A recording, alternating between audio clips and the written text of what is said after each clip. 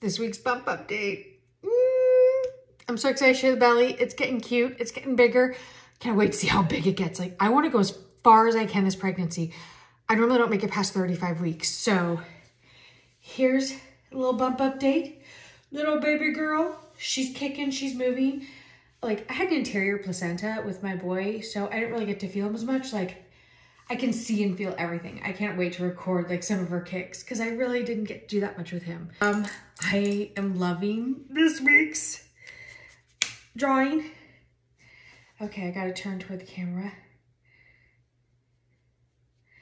Like I am so excited for this week's. I'm a little bit behind because, you know, I was in LA and I'm so excited to share with you guys why I was in LA.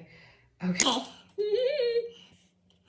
like of all weeks for it to be this, I am seriously, I looked it up and I'm like, this is the best ever! So I'm gonna do an update with this, um,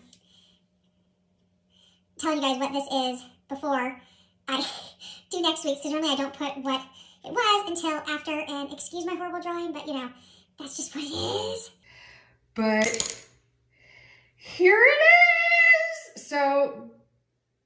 Good luck guessing. Have fun. Ah!